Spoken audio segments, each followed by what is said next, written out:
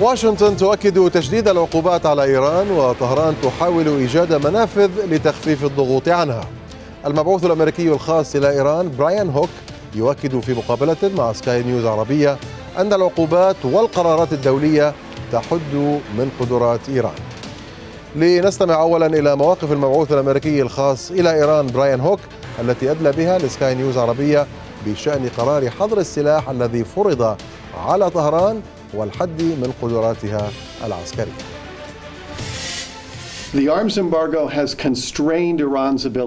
قرار حظر السلاح على إيران استطاع أن يحد من قدراتها العسكرية، ولكن عندما ينتهي قرار حظر السلاح ستبدأ إيران في نقل الأسلحة في وضح النهار بعدما كانوا ينقلونها في جنح الظلام. إذا لم تكن هناك قيود على طهران ستتمادى في نقل الأسلحة. من المهم جدا لمجلس الأمن وخاصة الأعضاء الدائمين مثل روسيا والصين أن يستمعوا لما تطالب به دول المنطقة. يجب أن يتم تمديد قرار حظر الأسلحة على إيران. تقرير الأمم المتحدة حول اليمن سينشر قريبا جدا. التقرير خلص إلى أن الأسلحة التي اعترضت وهي في طريقها إلى اليمن هي صواريخ إيرانية المنشأ. الصواريخ التي استعملت لمهاجمة السعودية هي صواريخ إيرانية المنشأ. كل هذه تعد انتهاكات لقرار حظر الأسلحة على إيران. يجب أن ندرك جميعا أن لإيران دورا فعالا في دعم الحوثيين. هذا ما يفعله النظام الإيراني حين ترى طهران نزاعا في أي منطقة تتسلل إليه وتدرب وتسلح الميليشيات. وكل هذا على حساب مصالحنا الأمنية في المنطقة ومصالح حلفائنا وشركائنا.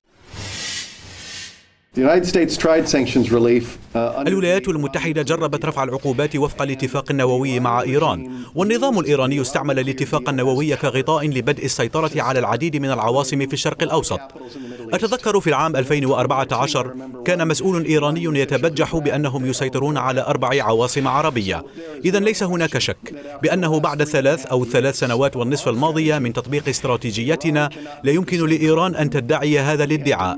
لقد خفضنا استعراض إيران لقوتها كما خفضنا من تمويلها للإرهاب كما عرقلنا وأنهينا العديد من عملياتها. سينضم إلينا الآن بعد قليل من واشنطن الدبلوماسي الأمريكي السابق ريتشارد شمايرر ومعنا من طهران الخبير في الشؤون الإيرانية دكتور محمد صالح صدقيان. دكتور صدقيان مساء الخير. مرحبا بك معنا من جديد في غرفة الأخبار. الآن نحن بانتظار شهر أكتوبر لمعرفة ما إذا كان هذا الحظر سيمدد العمل به أم لا. الولايات المتحدة كما تعلم جيدا تدفع بهذا الاتجاه. حلفاء إيران في مجلس الأمن هل سيسمحون بذلك أم لا؟ نتحدث هنا روسيا والصين تحديدا. بسم الله الرحمن الرحيم. تحية لك أستاذ مهند وإلى مشاهدي قناة سكاي نيوز عربية. أنا أعتقد بأن المسار الذي سارت عليه الولايات المتحدة أو الحكومة الأمريكية الحالية لمجلس الأمن أعتقد بأنه مسار يعني غير معبد بالزهور وبالتالي هناك الكثير من المشاكل القانونية أمام طرح طرح مسودة قانون لتمديد حظر السلاح على إيران بناء على القرار 2231 الذي احتضن الاتفاق النووي الموقع والذي توصلت إليه إيران مع مجموعة خمسة زائد واحد. لسبب بسيط جدا هو أن الولايات المتحدة هي الآن ليست عضوة في مجموعة خمسة زائد واحد.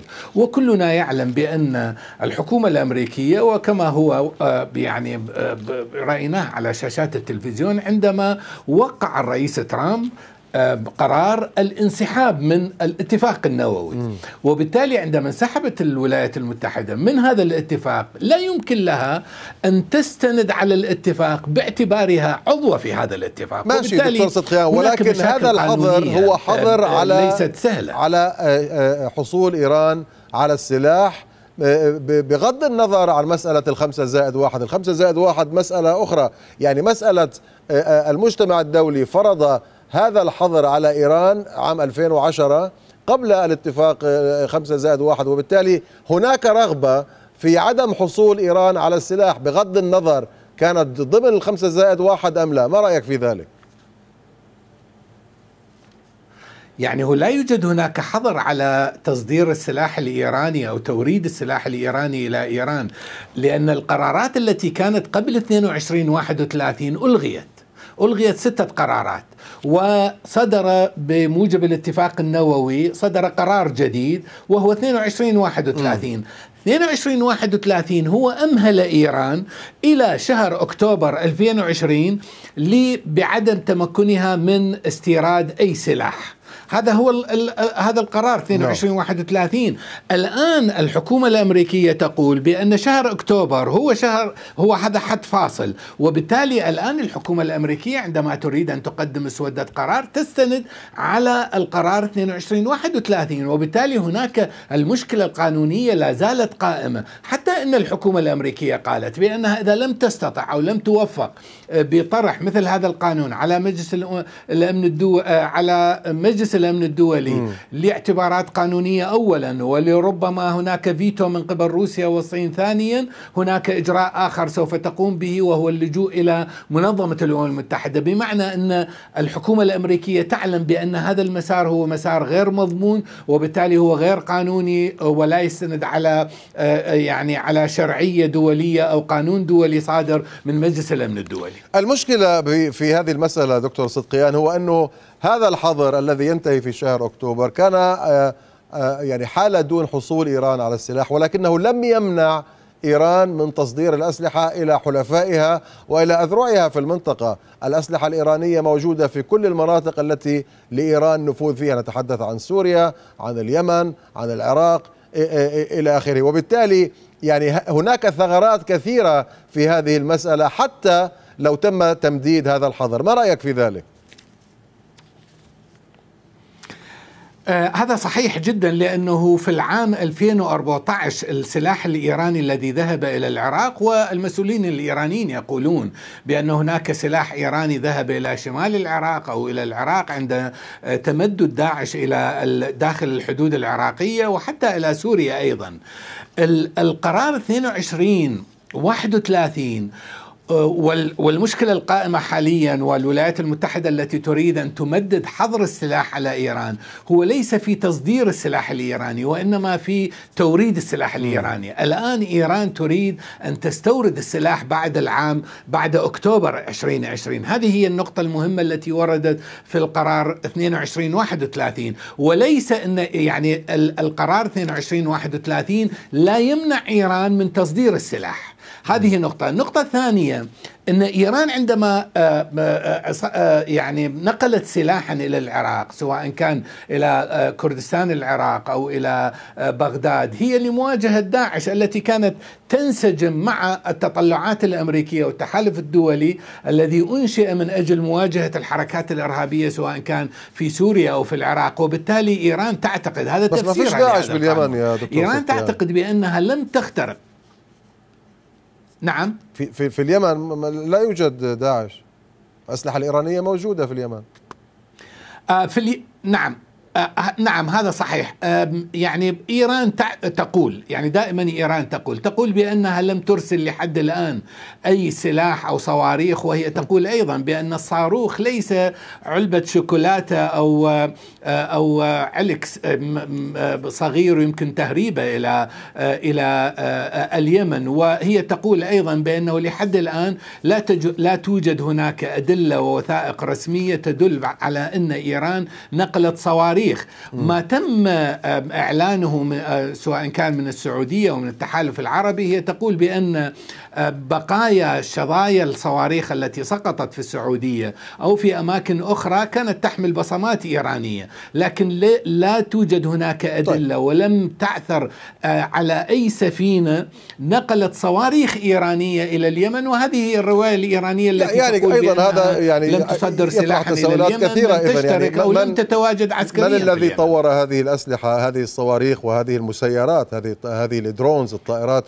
بدون طيار. واضح أنه يعني الجماعة الحوثية ليس لها القدرة لا المالية ولا التقنية على تطوير مثل هذا السلاح. على كل حال سيصدر القرار قريبا كما قال السيد براين هوك آه، القرار الأممي حول اليمن وربما يتضمن بعض هذه المعلومات. دعنا نشرك معنا من واشنطن الكاتب والباحث السياسي إيهاب عباس. مساء الخير أستاذ إيهاب مرحبا بك معنا من جديد في غرفة الأخبار. نتحدث عن إمكانية تمديد أو عدم تمديد الحظر المفروض على السلاح إلى إيران في شهر أكتوبر القادم. واشنطن تدفع بشكل حثيث في هذا الاتجاه. إلى أي مدى ستنجح في ذلك؟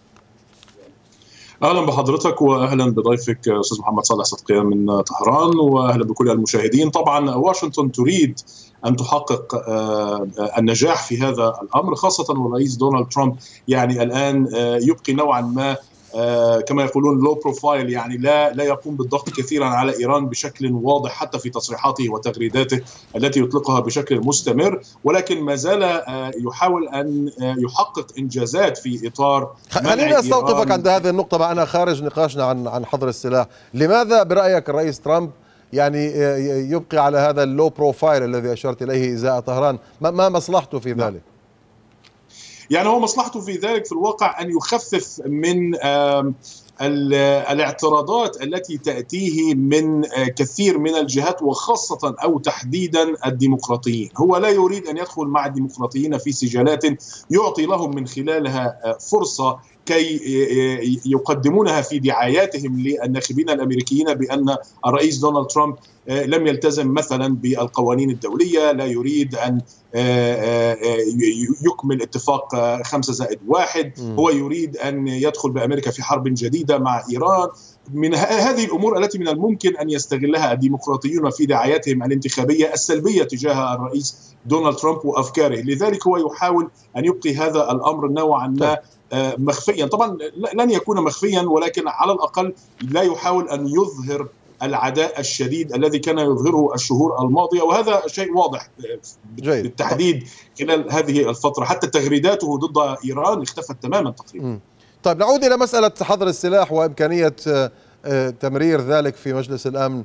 إلى أي مدى واشنطن تعول على أن هناك احتمالية لإعادة فرض الحظر على إيران؟ أعتقد واشنطن حتى الآن نجحت بشكل كبير في يعني تغيير بوصلة دول الاتحاد الأوروبي تحديدا التي كانت تمتعض نوعا ما من خروج الولايات المتحدة من الاتفاق النووي مع إيران، نجحت في تغيير أو إدارة ترامب نجحت في تغيير هذه البوصلة من الوقوف بجانب الموقف الإيراني إلى الوقوف مع وجهة النظر والرؤية الأمريكية في وجوب توقيع اتفاق نووي جديد مع طهران وأيضا في وجوب استمرار الحظر واستمرار العقوبات الاقتصادية. إذا لم لم يلتزم النظام الإيراني في طهران بالمطالبات الأمريكية والرغبات في اتفاق نووي جديد والذي من شأنه أيضا هذا الاتفاق النووي الجديد أن يتضمن بنود تحدد بشكل كبير وواضح أن إيران يجب عليها أن تلتزم بوقف اعتداءاتها على دول الخليج ووقف دعمها للإرهاب والتدخل في شؤون دول الجوار، هذه الأمور التي كان قد شدد عليها قبل ذلك وزير الخارجية الإماراتي وشددت عليها أيضا السعودية وأعتقد الولايات المتحدة الأمريكية تضعها في الحسبان في أي اتفاق نووي جديد. طيب أعود إليك دكتور صدقيان في في في طهران، إلى أي مدى واشنطن يعني نجحت بالفعل كما أشار الأستاذ إيهاب إلى حشد هذا التأييد؟ تأييد أوروبي نتحدث عن دول أساسية فرنسا ألمانيا بريطانيا وربما دول أخرى فيما يتعلق بهذه المسألة.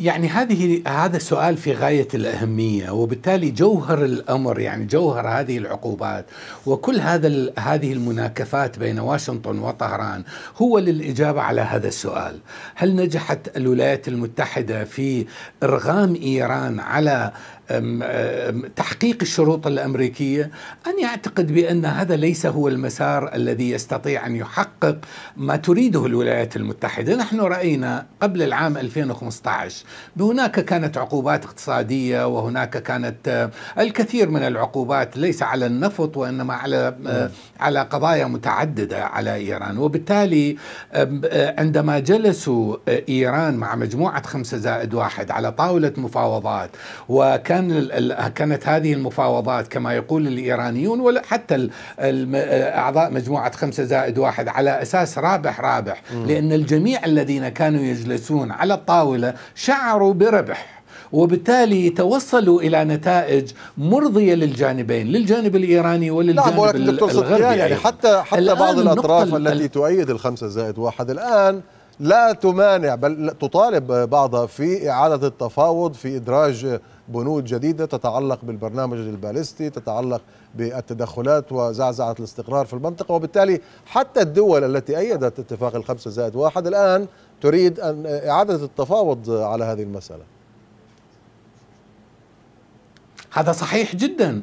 إيران هم تعتقد ذلك. يعني لا تمانع من من إعادة التفاوض. لكن عندما انسحبت الولايات المتحدة من خمسة زائد واحد هي وضعت نفسها ووضعت إيران ووضعت بقية مجموعة خمسة زائد واحد في زاوية حرجة، الآن الولايات المتحدة يبدو لي بأن هذا الثلاثي المكون من براين هوك وجون بولتون ومايك بومبيو هذا الثلاثي هو الذي أراد أو اعتقد بأن العقوبات الاقتصادية بولتون غادر نعم. وكتب كتاب ضد الرئيس ترامب